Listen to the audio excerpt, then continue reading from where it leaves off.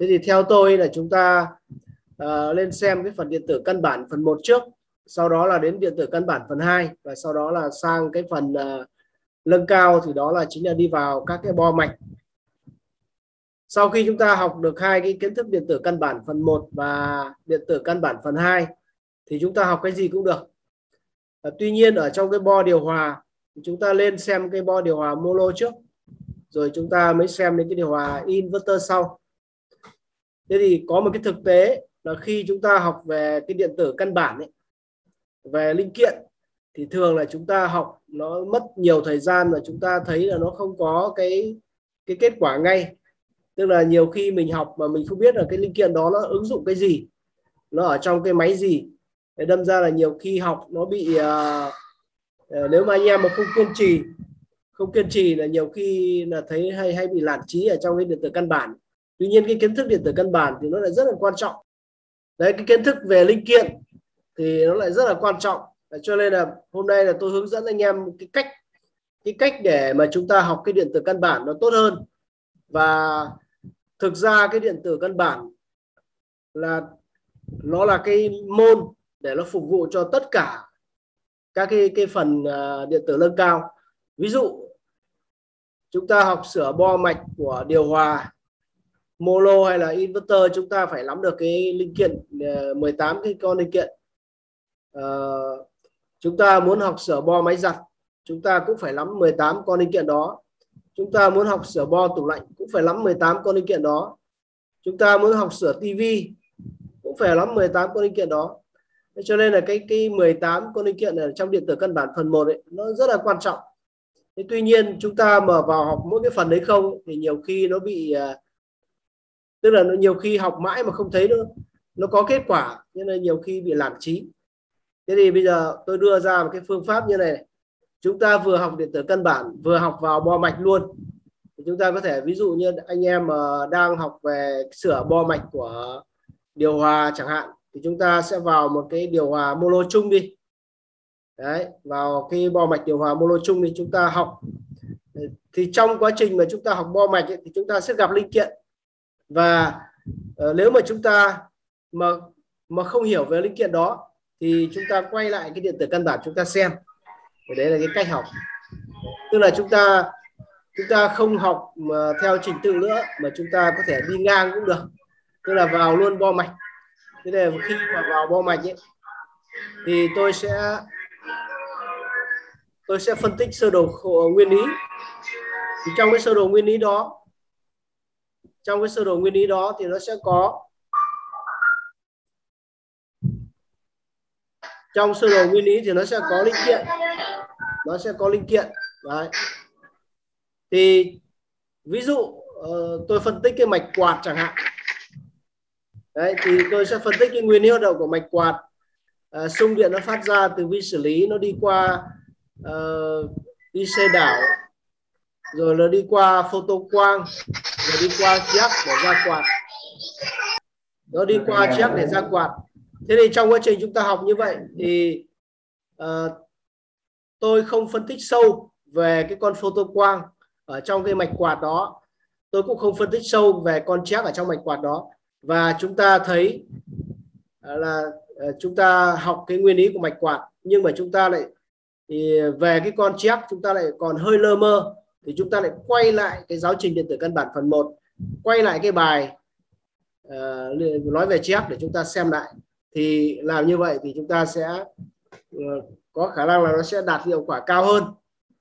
Ở đây tôi lấy ví dụ như này để tôi sẽ chia sẻ màn hình.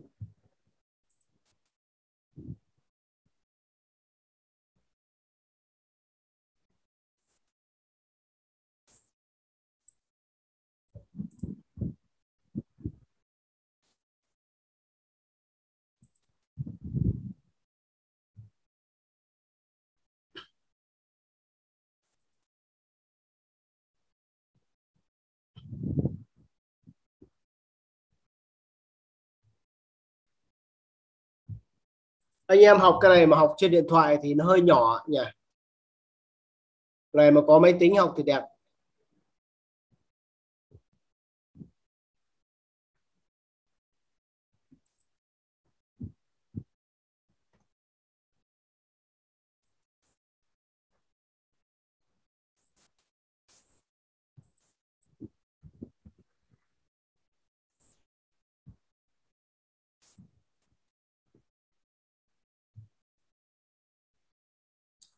Tôi lấy ví dụ tôi vào một cái giáo trình điều hòa mono chẳng hạn.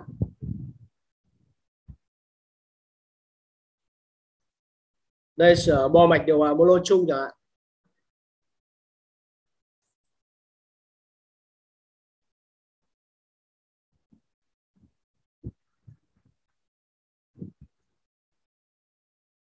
À, tôi lấy ví dụ à, bây giờ chúng ta vào cái mạch quạt đi chẳng hạn mạch điều khiển quạt đi chẳng hạn. Chúng ta đang học cái bài này chẳng hạn.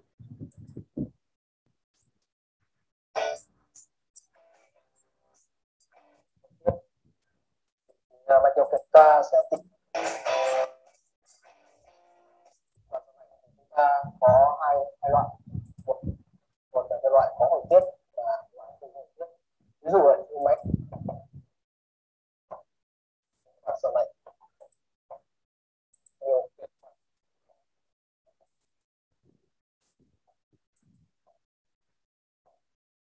ví dụ đây là đây tôi lấy ví dụ như này. Có thể chúng ta vào chúng ta học luôn cái ờ, cái cái sơ đồ như này. Thế thì khi mà chúng ta chưa học linh kiện thì ờ, chúng ta cứ nghe tôi phân tích. Cái mạch quạt nó bắt đầu nó nó xuất phát từ uh, từ vi xử lý này. Nó đưa ra cái xung điện. Nó đi qua con IC khuếch đại đảo. Rồi nó đi qua con photo quang sau đó nó điều khiển con chiếc. Đấy. Rồi nó cấp điện cho quạt. Nếu mà anh em mà đã nắm được cái con photo quang này rồi đã hiểu con photo quang này rồi thì tôi phân tích đến đây cái là hiểu ngay. Mà đã hiểu được cái con chắc rồi thì tôi phân tích đến đây cái là hiểu ngay. Đấy, tại sao người ta lại mắc cái photo quang vào chắc như thế này? Tại sao lại chân 6 nó lại đi vào T2 tại sao chân 4 nó đi vào G? Thì cái này là cái cách mắc cách mắc ở trong cái này thì trong cái phần cái bài nói về chắc thì tôi cũng phân tích cái này rồi. Hay là cái con photo quang này. Đấy. cấu tạo của nó làm sao và nguyên tắc hoạt động của nó làm sao thì ở trong cái phần quạt này thì lại không nói về cái đấy. Đấy. Ví dụ như ở trong cái phần quạt này trong cái sơ đồ này thì tôi lại phân tích theo cái hướng là như này.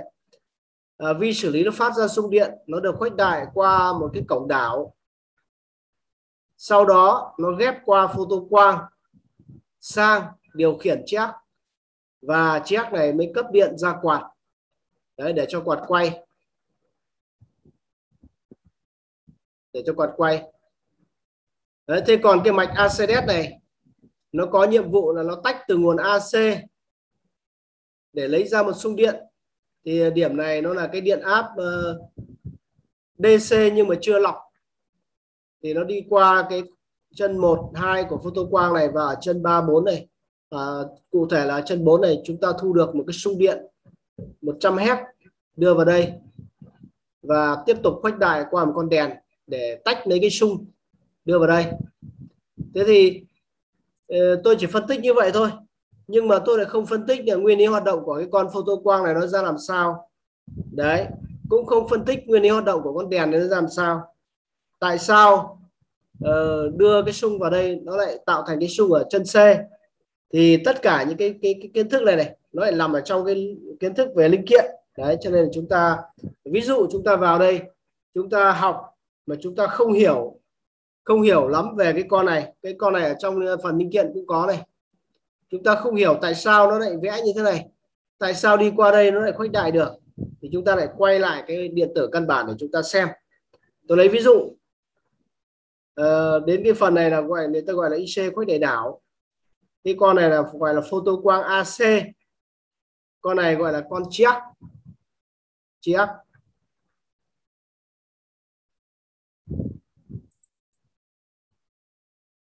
Con này gọi là con chiếc. Thế thì bây giờ tôi muốn tìm hiểu thêm về mấy con này, thì tôi lại quay lại cái giáo trình. Quay lại cái giáo trình điện tử căn bản. Phần 1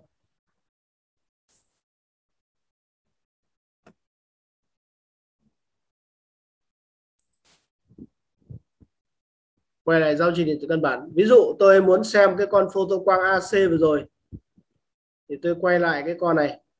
Tôi tìm cái con photo quang AC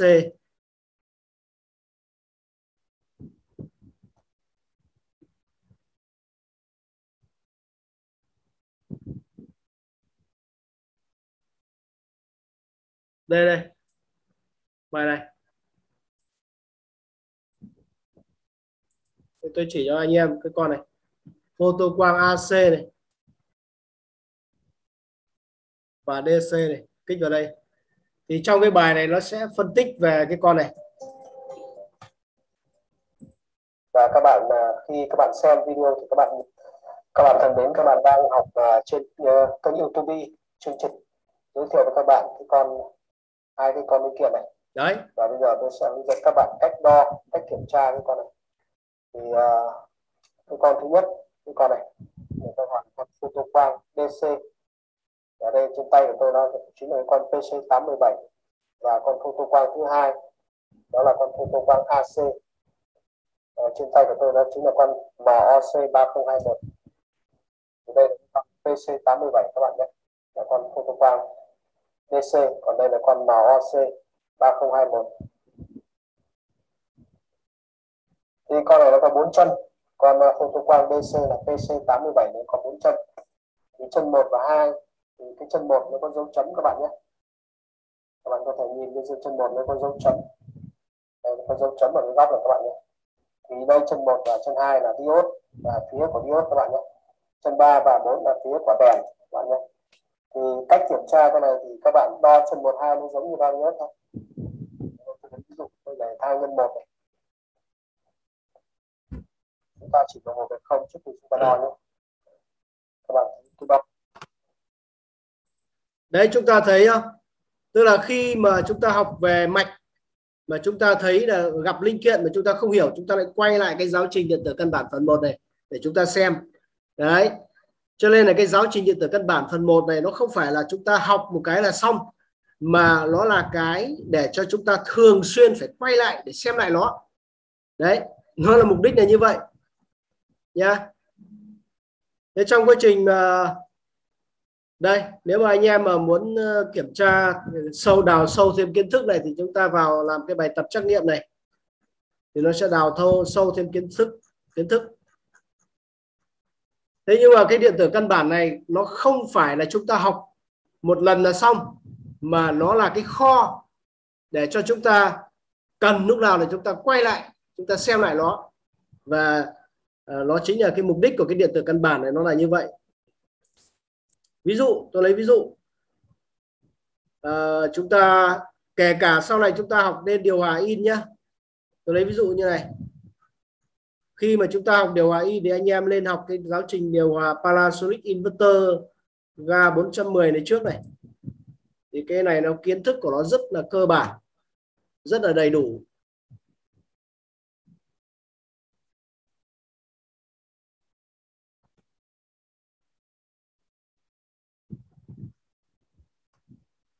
Đấy tôi lấy ví dụ uh, chúng ta học về cái nguồn sung này đi chẳng hạn. Sơ đồ nguyên lý của nguồn sung này đi chẳng hạn.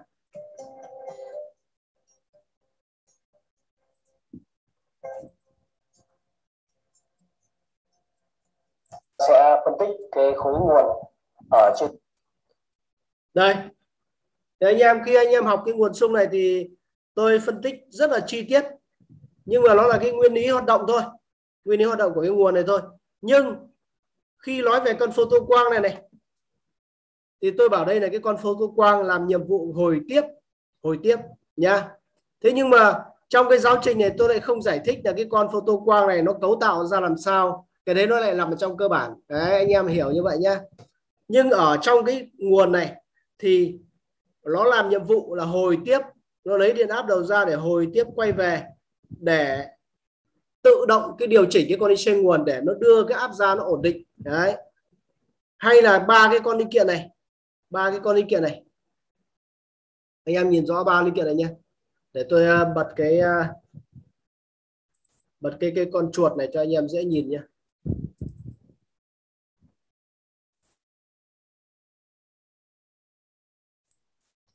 Đây, hay là ba cái linh kiện này.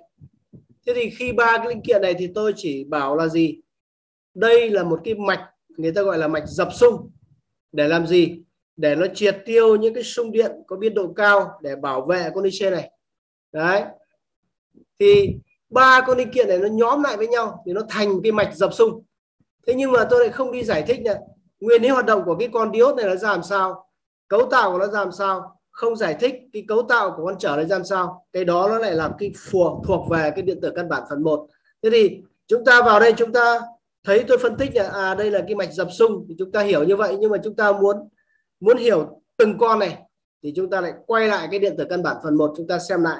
Thì đấy là cái mục đích của cái cái cái ờ, giáo trình điện tử căn bản là như vậy. Nó là cái kho để cho chúng ta mỗi một lúc chúng ta thấy uh, một cái linh kiện nào đó chúng ta cần xem lại thì chúng ta quay lại đấy chúng ta xem. Tức là cái cái kho điện tử căn bản phần 1 ấy, là liên tục chúng ta phải dùng đến chứ không phải là chúng ta học một lần là chúng ta ờ, cắt nó đi, không phải như vậy, nha. Yeah.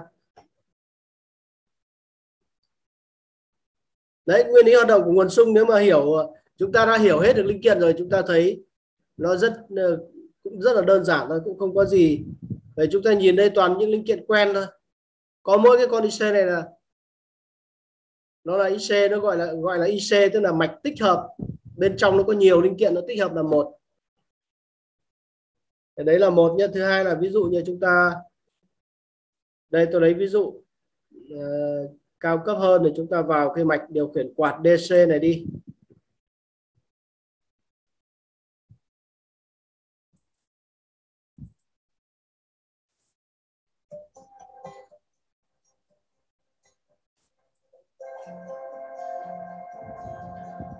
Khi chúng ta xem thì chúng ta muốn cái độ led nó cao ấy, thì chúng ta chọn vào cái 1080 này này.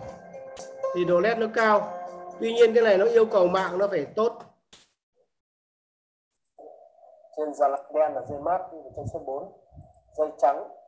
Đây anh em thấy không? Một cái sơ đồ của cái mạch điều khiển quạt này tôi vẽ nó không khác gì cái sơ đồ của hãng. Đấy nó rất là chi tiết.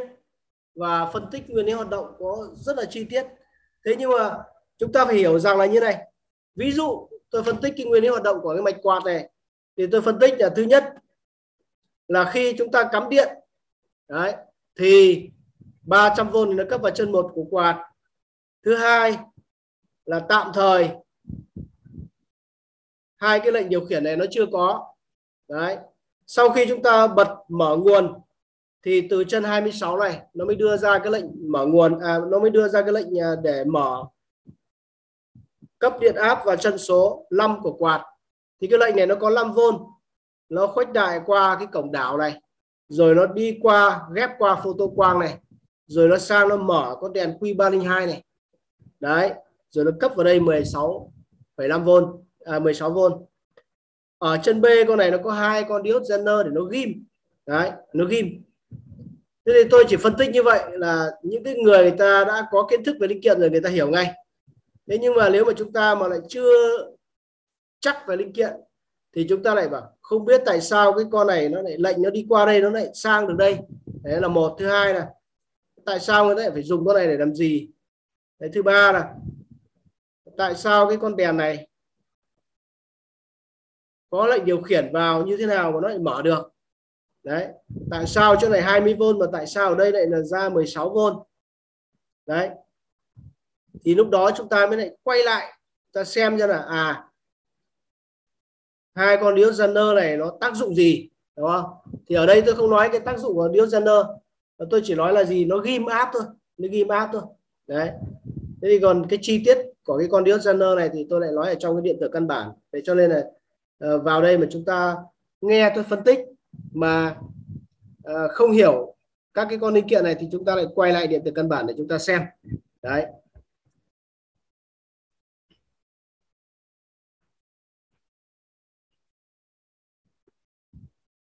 Thế thì thực ra chỗ này này anh em để ý chỗ này này. Khi mà cái con đèn này nó ghép cái con diode này này thì đây nó trở thành cái mạch ổn áp ổn áp. Đầu vào là 20V nhưng đầu ra nó có 16V nó vừa là ổn áp, nhưng nó đồng thời nó lại vừa là điều khiển. Tức là nó vừa là cái mạch điều khiển. Tức là cái con này có lệnh điều khiển thì nó mới mở. Không có lệnh điều khiển là nó tắt.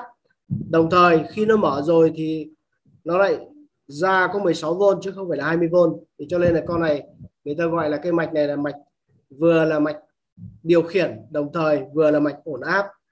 Đấy thì con đèn này cũng thế.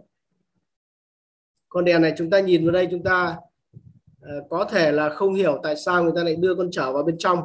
Thì đây là trong cái bài nói về đèn ở trong cái phần điện tử căn bản thì tôi nói về cái này rồi. Tức là đây là cái đèn số đèn số. Thì người ta đưa cái con trở là vào bên trong. Đấy cái mạch quạt này nếu mà chúng ta mà nắm được cái linh kiện rồi thì nó cũng toàn linh kiện quen thuộc thôi mà. Điện trở này tụ điện này. Cuộn dây ở đây thì không có, đúng nhỉ? Diode này, diode zener này transistor này, diode thường này, diode zener này transistor này. Đấy đấy, có như vậy thôi. Photo quang đấy, toàn những cái linh kiện như vậy là nó tạo thành một cái ờ, ờ, một cái mạch điều khiển quạt. Đấy, một cái điều điều khiển quạt DC đấy đây là cái mạch điều khiển quạt DC mà chúng ta gặp ở trên hầu hết các cái máy Panasonic từ mono cho đến inverter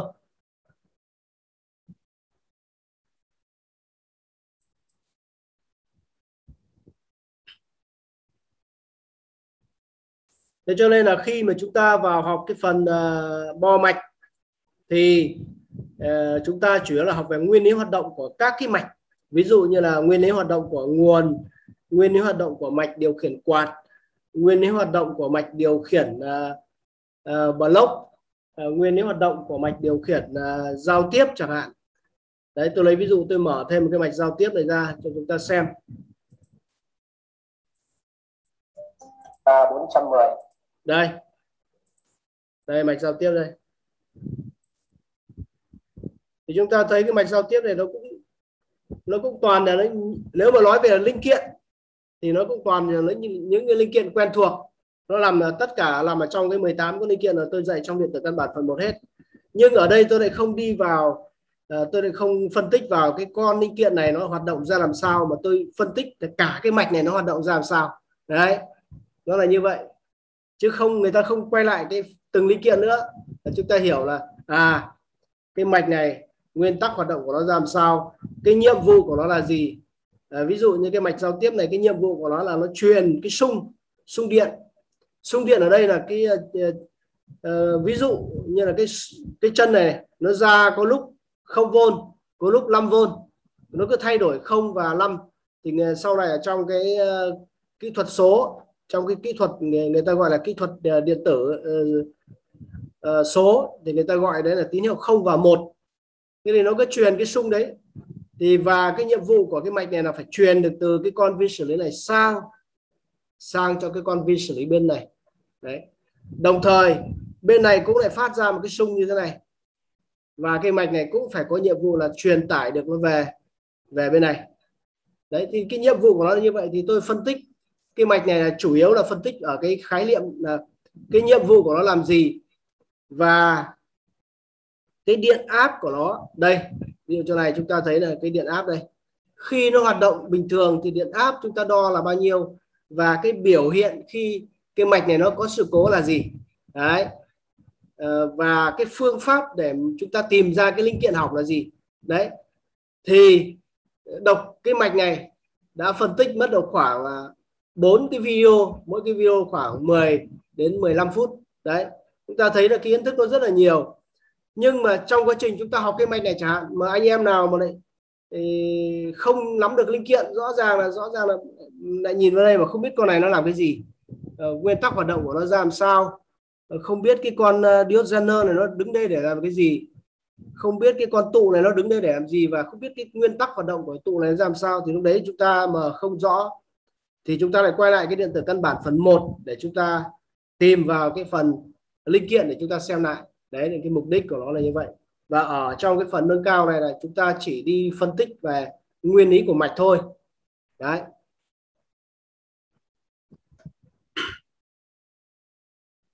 Đấy thì sau này anh em nhìn vào đây thì nếu mà chúng ta mà cho nên là tôi dạy cái giáo trình này ấy, uh, dạy online mà anh em mà đã từng làm thợ đã từng sửa được một thiết bị điện tử dù đơn giản nhất nhìn vào đây cái tôi đảm bảo là hiểu ngay nghe tôi phân tích cái là hiểu ngay. Bởi vì khi chúng ta đã sửa được một cái thiết bị điện tử, cho dù đơn giản nhất thì chúng ta cũng phải biết về điện trở, chúng ta cũng phải biết về tụ điện, chúng ta cũng phải biết về diode, chúng ta cũng phải biết biết về chan các cái con chan store và chúng ta biết, hiểu về cấu tạo nó rồi. Cho nên là vào đây cái thì chúng ta thấy là à toàn những cái linh kiện quen thuộc thôi. Đấy.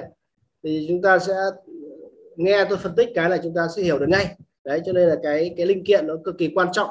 Tuy nhiên, nếu mà chúng ta mà chưa tiếp xúc vào một cái máy, chưa học vào cái giáo trình mà chúng ta cứ học ở cái phần linh kiện không thôi, thì chúng ta dễ bị bị bị nhàm chán. Bởi vì sao? Bởi vì chúng ta cứ thế học linh kiện mãi mà chúng ta không biết là nó ứng dụng vào cái gì và à, chúng ta không nhìn thấy được cái đích của nó.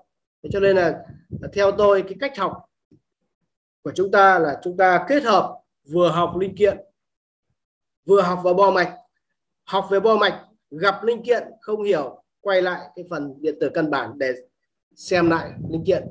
Đấy thì cái, cái kết hợp cái cách kết hợp như vậy thì nó sẽ cho cái hiệu quả cao hơn.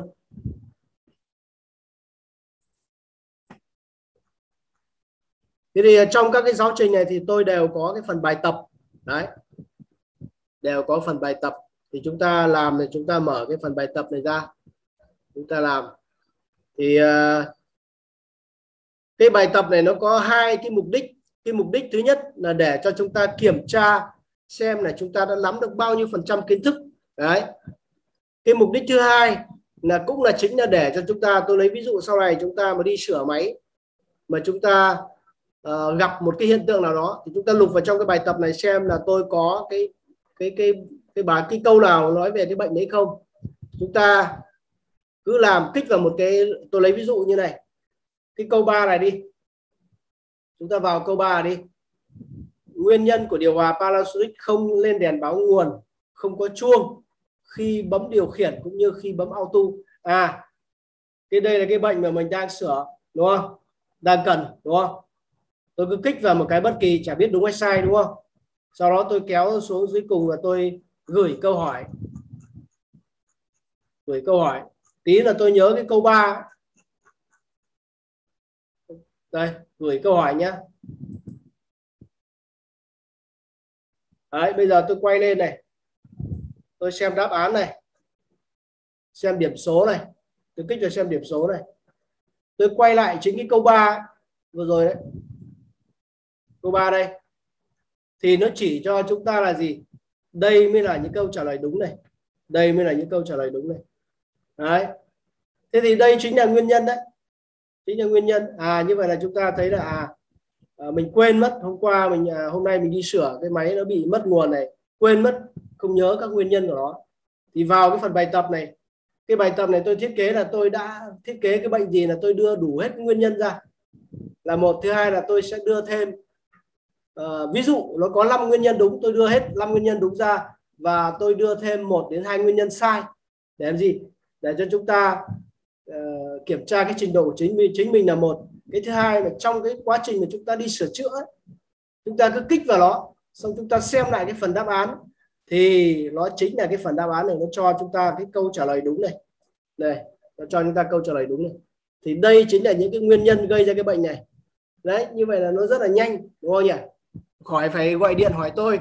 Vào đây xem là nó có nguyên nhân ngay đúng không nhỉ? Đấy vừa là kiểm tra được cái trình độ của mình vừa là xem là cái nguyên nhân đúng không nhỉ? Đấy sau này là tất cả những cái bài tập này nó rất là hay. Và có những cái bài tập mà tôi thiết kế à, ví dụ cái hiện tượng là báo lỗi nó báo như thật luôn nhá. Ở trên cái máy này nó hơi ít đèn hơi ít hơi ít đèn báo. Ví dụ sang cái phần uh, giáo trình via uh, LG chẳng hạn. Tôi thiết kế cái uh, giáo trình ờ, uh, LG inverter đây. Bài tập đây. Cái chỗ nào mà nó có đèn báo tôi thiết kế đèn báo nó như bên ngoài luôn. Để cho chúng ta nhìn chúng ta thấy nó hấp dẫn. Đây cái mạch giao tiếp đây. Để đưa cả thông số điện áp ra. Đây chúng ta nhìn cái đèn này nhé. Đấy. Đấy. Đấy, chúng ta làm bài tập này, nó chẳng khác gì cái bệnh ở bên ngoài. Đây là cái bệnh, nó gọi là bệnh à, đèn nháy hai lần sau lại nghỉ, và nháy 6 lần. Đấy, thì người ta gọi là bệnh này là bệnh lỗi CH26 đấy. Ví dụ bệnh này, đồng chí hôm nọ, đồng chí một đồng chí cũng học từ xa, hỏi tôi đúng cái bệnh như này. Check nó ra CH26 nó báo là gì? Đây là bệnh liên quan đến cái phần công suất của máy lén.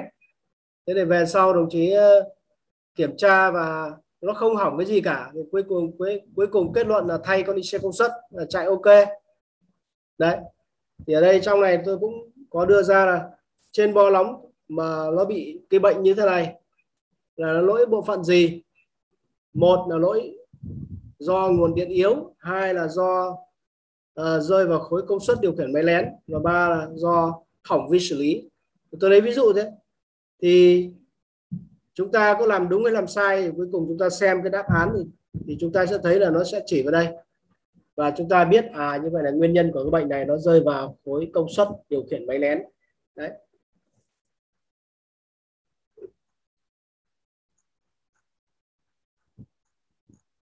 Đấy cái phần bài tập này tôi cố gắng thiết kế cái chỗ nào mà nó đây ví dụ như cái phần này đấy. Cái đèn này nó nháy như bên ngoài luôn nhá. Đấy. Thì người ta gọi cái lỗi này là cái lỗi CH12 CH12 và nguyên nhân của nó là do cảm biến chết cảm biến. Đây cái lỗi này là cái lỗi CH05 đó thì uh, thay vì mình mô tả bằng chữ thì nó cho nhìn cái hình nó nhấp nhấp nháy nó đúng như bên ngoài luôn. Đấy, chúng ta nhìn cái là chúng ta hiểu ngay. À vừa hôm qua đi sửa đúng cái bệnh như này luôn. Cứ kích thử vào đại một cái xong rồi gửi câu hỏi xem là uh, đáp án thì sẽ biết được cái nguyên nhân của nó. Đấy. Thế nhưng sau này cái giáo trình nó rất là hay rất là hấp dẫn. Nhưng cái quan trọng là chúng ta uh, nếu mà trong quá trình chúng ta học mà chúng ta chưa hiểu thì đa số là do chưa hiểu về linh kiện. Thì quay lại cái phần điện tử căn bản phần 1 để xem lại phần linh kiện. Và đấy là cái cái mục đích của cái uh, chương trình học online này như vậy. Tại sao tôi lại đưa cái giáo trình điện tử căn bản vào? Để làm gì? Để cho chúng đấy là một cái kho uh, cái điện tử căn bản phần 1 và điện tử căn bản phần 2 ấy, nó không phải là cái chương trình để cho chúng ta học một lần để chúng ta uh, xong là thôi mà nó là cái chương trình để chúng ta liên tục phải quay lại để xem lại nó. Ở đây nó là như vậy.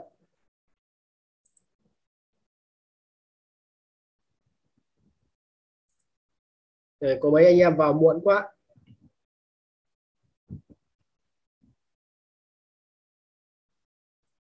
Đây chúng ta uh, có anh anh nào mà muốn hỏi thì cứ hỏi nhá. Xem là cái phương pháp học này rồi cái phương pháp uh, uh, chúng ta học nó có vướng mắc gì không này? Và nó đang bị mắc ở chỗ nào nhiều nhất này?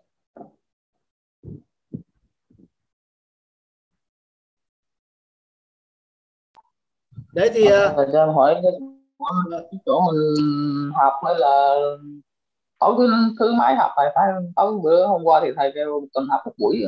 Hôm nay hôm nay thấy thứ ba cũng học uh, cái này thì bởi vì tôi chia làm nhiều lớp uh, lớp căn bản này lớp nâng cao này lớp chuyên sâu này. Thì hôm qua là cái thứ hai là lớp căn bản học hôm nay là lớp nâng cao và ngày mai thì là lớp chuyên sâu. Đấy thì nếu mà lớp mà uh, uh, sau này mà trong tuần ấy, nó còn trống thì có thể là tôi cố gắng tôi tăng lên thành uh, hai buổi nhá thì uh, được có nghĩa là tất cả các học viên là đều có thể là tham gia vào từ căn bản nâng cao như sao đều tham gia được các lớp rồi. học như vậy đúng không ạ? Đấy thì ờ, buổi đầu tiên thì ờ, đầu tiên là tôi cũng muốn cố gắng làm sao đó để xem là anh em vướng mắc ở chỗ nào. Phải tìm được cái chỗ vướng mắc ấy thì mới mới gỡ được đúng nhỉ? Đấy ví dụ như chúng ta đang vướng ở cái khâu dò mạch thì các cái buổi sau tôi sẽ hướng dẫn dò mạch. Đấy và đang vướng về cái phương pháp học. Ví dụ như là tôi lấy ví dụ như là chúng ta vào cái bo mạch chúng ta uh, xem tôi giảng thì chúng ta hiểu rồi. Thế nhưng mà uh, đến cái con linh kiện đó thì chúng ta lại chưa rõ uh, cách đo rồi thì chưa rõ um, cái cấu tạo chưa rõ cách đo thì lúc đó nó lại quay chúng ta lại quay lại cái phần điện tử căn bản để chúng ta xem. Đấy thế thì uh, thực ra trong cái phần nâng cao là chủ yếu là tôi phân tích về nguyên lý hoạt động của mạch thôi chứ tôi lại không nói về cái cấu tạo hay là cái cách đo linh kiện. Đấy chúng ta nhớ như vậy nhé chỉ nói về nguyên lý hoạt động của mạch thôi chứ không nói về và phân tích bệnh. Ví dụ như cái cái mạch quạt này khi nó hỏng thì nó sinh hiện tượng gì và uh, cách trách lỗi ra làm sao và cách kiểm tra để tìm ra cái con hỏng ra làm sao. Uh, thì trong cái mạch quạt đó nó có nó có photo quang nó có chi ác đúng nhỉ? Thì tôi lại không nói sâu về cái con photo quang này, cấu tạo ra làm sao, cách đo ra làm sao. Không nói sâu về con chép này, cấu tạo ra làm sao, cách đo ra làm sao, mà cái đó nó thuộc về phần linh kiện. Đấy. Tức là mỗi một cái giáo trình nó có một cái nhiệm vụ là như vậy. Thì chúng ta hiểu nó như vậy. Tuy nhiên nếu mà, cho nên là tôi bảo là gì? Anh em mà đã từng làm thợ, cho dù sửa được những cái thiết bị đơn giản nhất ví dụ như là chỉ cần sửa được một cái bếp từ chẳng hạn hay là sửa được những cái uh, ngày xưa mà anh em sửa được những cái uh, nồi cơm điện chẳng hạn hay những cái thiết bị mà nó có đầy đủ các cái linh kiện ấy. Chỉ cần sửa được một cái thiết bị đơn giản nhất thôi thì học vào cái giáo trình của tôi là rất là nhanh rất là dễ. Đấy bởi vì là mình nhìn linh kiện cái là mình hiểu rồi. Mình chỉ cần bây giờ mình chỉ cần cập nhật cái kiến thức là cái nguyên lý hoạt động thôi là mình sẽ ờ, biết cách xử lý.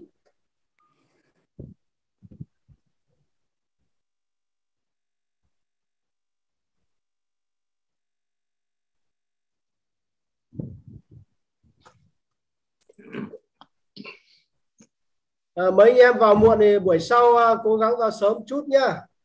Muộn quá.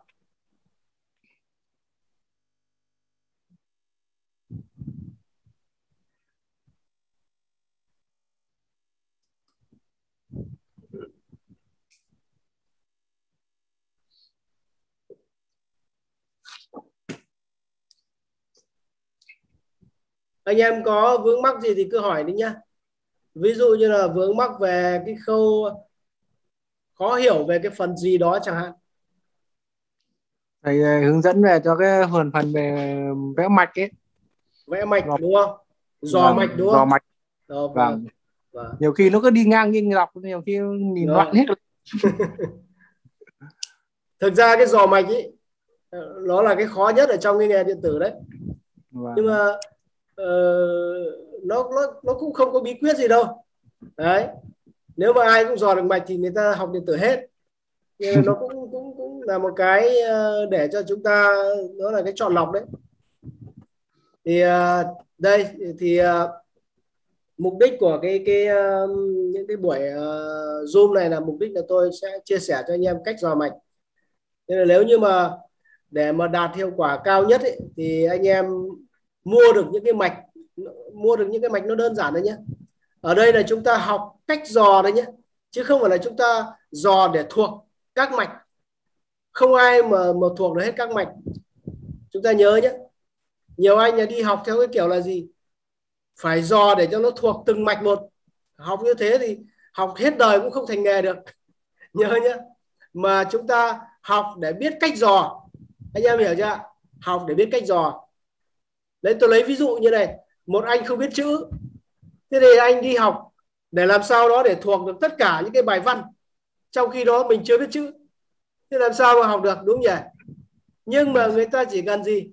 Người ta chỉ cần học để làm sao đó để biết đọc, thế thì ngày mai đưa cho cái bài văn gì chả đọc được. Đấy, ta hiểu nó như vậy. Tức là chúng ta học để chúng ta biết cách dò, chứ không phải là chúng ta học để chúng ta dò được tất cả các loại mạch, không phải như thế. Thế thì để biết cách dò, thì chúng ta hãy bắt đầu từ cái mạch dễ nhất chứ đừng nào vào cái mạch khó. Đấy. Nên bây giờ tôi đưa ra một cái bo mạch nha anh em cùng dò nha bây giờ tôi tiếp tiếp tiếp tục chia sẻ màn hình. Làm gì con làm như hồi nào. Với má, làm tới má nào. Con má ngủ ngủ má còn ngồi má sáng đêm.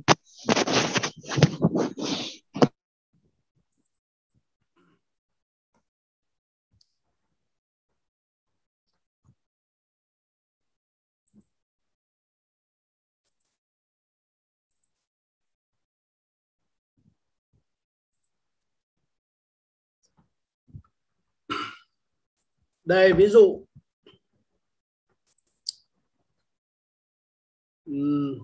Chúng ta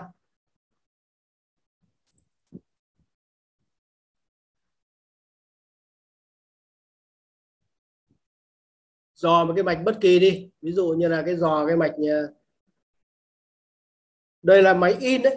Máy in là cũng là ờ, nhưng mà máy in hay là máy mono nó không quan trọng mà chúng ta hãy chọn một cái bo mạch mà nó cái mạch nó thưa thưa một chút một chút. Thì đừng cái mạch nó dày di dít thì uh, xem chọn cái mạch gì để cho nó dễ dễ dò trước. Có gì chắc dễ nhất? Mạch này chưa này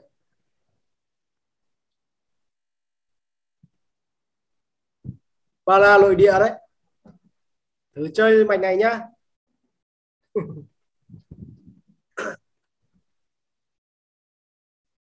ba la rồi ạ. Thế thì cái giò đây nó như này.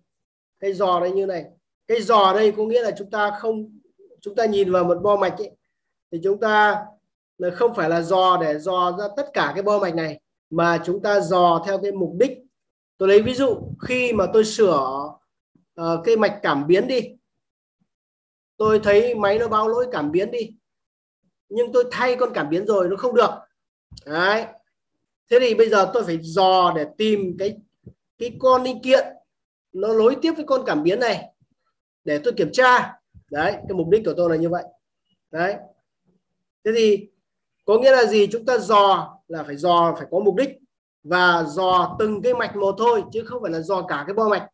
Chúng ta nhớ cho tôi nhé dò một là dò phải có mục đích. Hai là dò từng cái mạch thôi chứ không phải dò cả bo mạch. Ví dụ một cái bo mạch này tôi tại sao tôi vẽ được ra thành sơ đồ? Thì tôi cũng phải vẽ từng cái mạch nhỏ một xong tôi ghép nó lại. Chứ không phải là tôi vẽ một cái là ra cả cái cái bo mạch này. Không phải như vậy.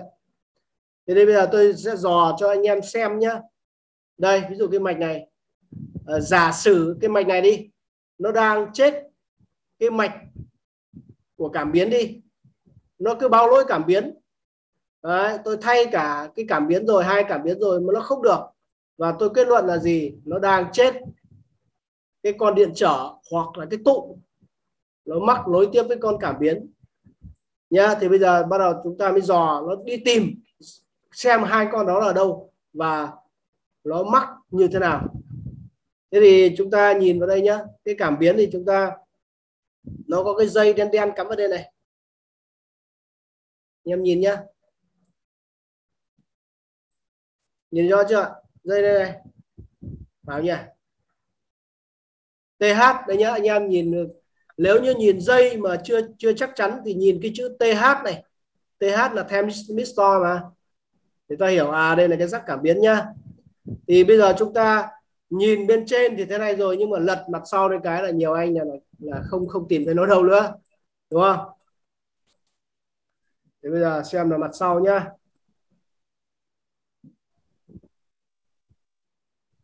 Đây là mặt sau của nó, đúng không nhỉ? Bây giờ tôi phóng to nó lên. Tôi tìm lại cái chân lúc nãy nhá. Đây, có phải là cái chỗ này là cái chuông không? Đây chuông đây đây, có phải là cái này là cái CNTH đúng đấy không? CNTH đúng nhỉ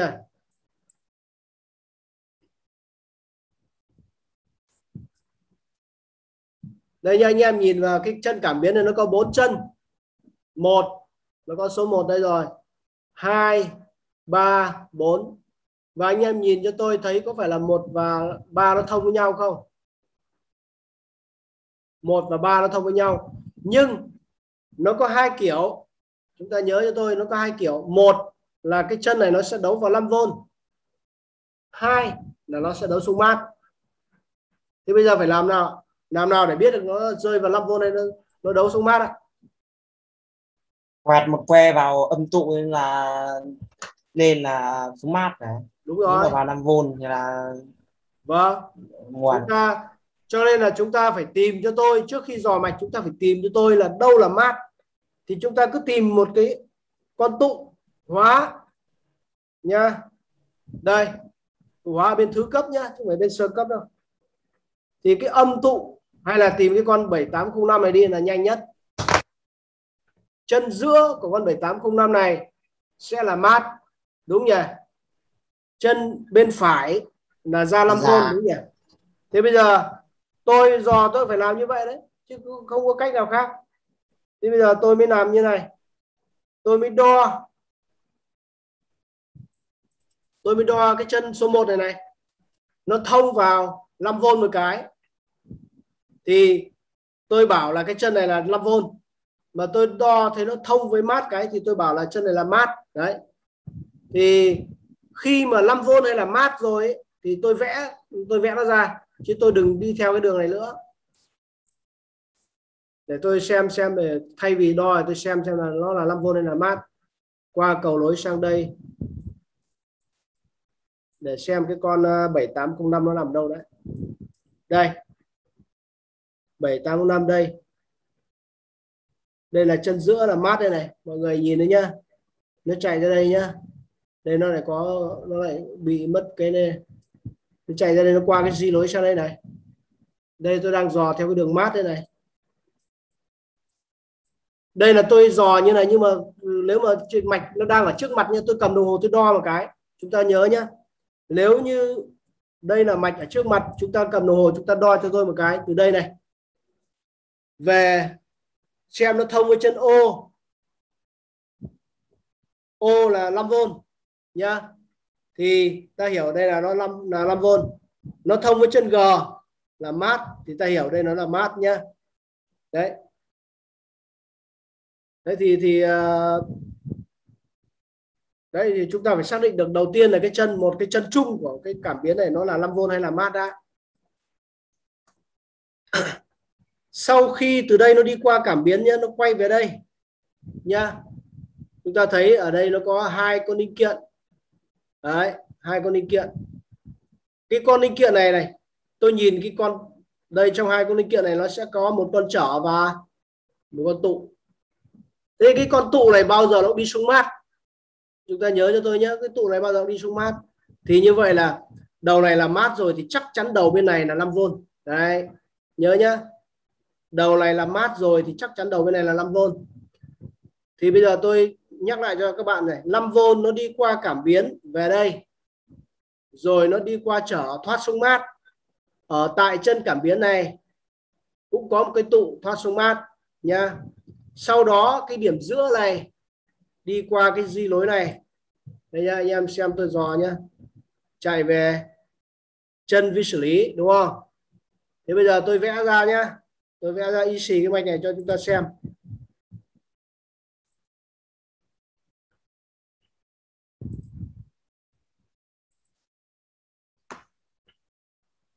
Đây, cái này là cái 5V nhá.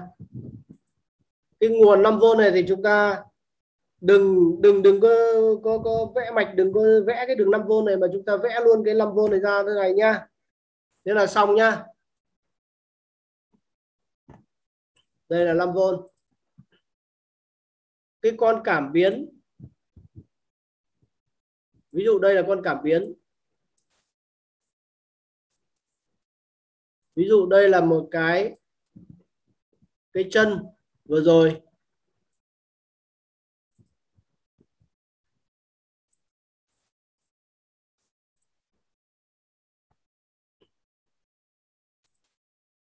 Đây là cảm biến nhá. Nó đi về đi về đây nhá. Nó lấy nguồn 5V ở đây nhá. Cái này nhá. Từ đây nhá, nó quay lại đây nhá quay lại đây, lúc đấy là nó về thẳng vi xử lý đấy. Về tận chân bao nhiêu vi xử lý đấy. Chân bao nhiêu người ta tính sau. Về tận vi xử lý này. Và trên cái đường quay về vi xử lý này thì có phải là nó có một con trở đi xuống mát không? Đây, nó có một con trở đi xuống mát.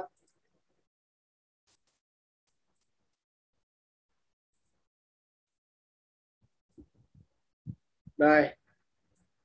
Mát đây. Và có phải là song song với con trở vừa rồi có cái tụ không? Tụ.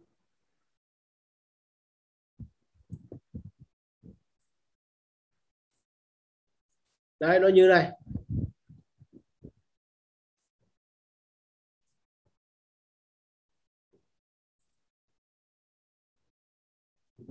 Đây như này là thành cái sơ đồ. Đây là cảm biến này. Thì sau này người ta vẽ cảm biến, người ta hay vẽ cái vòng tròn.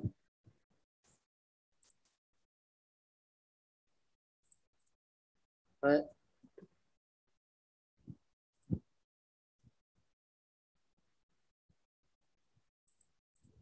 như này.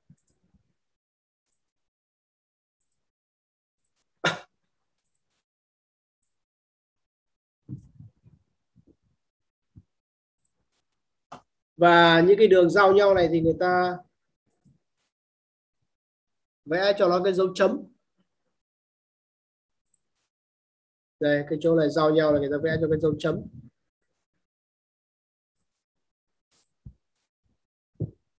Đấy, tôi lấy ví dụ như này.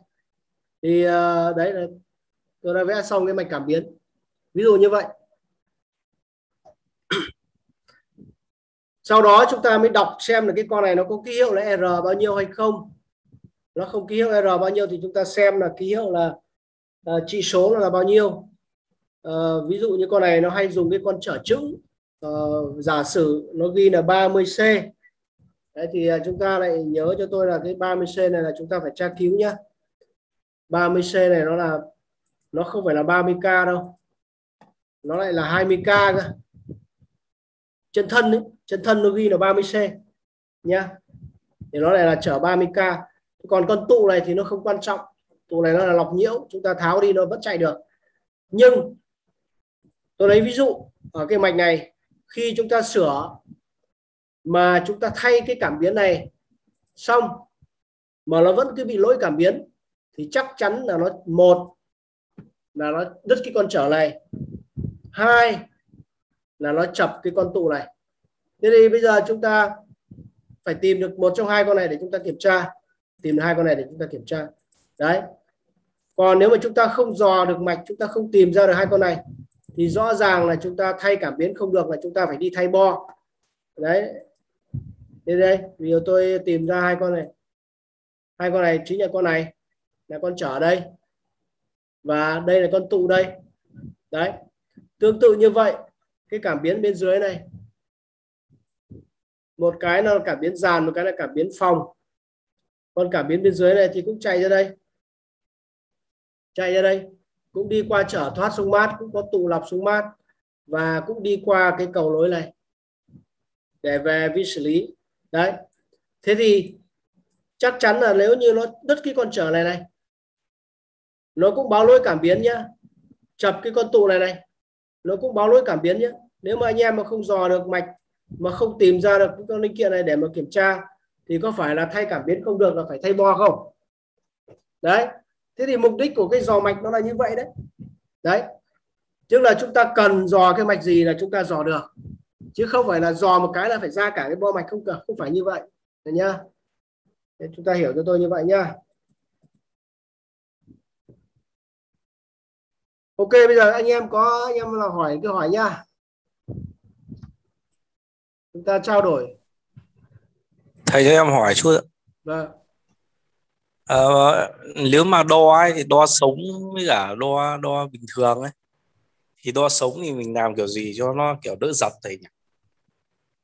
Uhm, cái này thì uh, tôi vẫn thường là phải giới nhắc anh em là một cái số bo mạch à, ví dụ như sau này sửa cái bo nóng của điều hòa in là một này. À, bo máy giặt là hai này bo tủ lạnh là ba này. Là cái bo đó nó không cách ly đâu. Nó không cách ly với nguồn đâu. Cho nên là chúng ta trong quá trình sửa chữa là chúng ta phải sắm một cái uh, cái cái uh, biến thế cách ly em ạ. Nhá. Thì em vào trong cái YouTube ấy, cái kênh YouTube ấy, YouTube của tôi ấy, chúng ta gõ cho tôi tìm cho tôi cái bài là biến áp cách ly. Nhá thì tôi dạ có vâng. hướng dẫn cách sử dụng ờ, chúng ta phải dùng cái bo à, dùng cái biến áp đó là một để trong quá trình sửa chữa là một. Thứ hai là cái nền nhà chúng ta lên uh, ví dụ chúng ta mà nền gạch thì chúng ta trong quá trình sửa chữa bắt buộc chúng ta phải đi dép khô nhá. Hai vâng. là nếu mà chúng ta không có điều kiện à, nếu mà có điều kiện thì tốt nhất là làm cái sàn bằng gỗ. Đấy. Thì uh, chúng ta cứ vào xem cái bài là tại sao điện nó lại giật trong cái YouTube của tôi tôi giải thích tại sao điện nó lại giật để chúng ta có cách phòng tránh nha. Vâng vâng em cảm ơn thầy. Những cái con tủ mà có, có, có tủ lớn ấy tủ công uh, nó dòng uh, mi số mi nó lớn nó tích điện giật mạnh lắm mà thầy. Cái đấy thì mình có À. dí cho nó. cái đấy là do anh chạm vào hai đầu tụ thì nó giật thôi. Cái đấy thì à, chúng ta phải tránh đừng có chạm vào hai đầu tụ của nó. Chúng ta về nguyên tắc ờ, khi sửa chữa là chúng ta đừng có chạm vào hai điểm, có điện áp chênh lệch. Nhé chúng ta chạm từng điểm thì không sao, nhưng mà hai tay chúng ta chạm vào hai điểm có điện áp chênh lệch là nó giật đấy.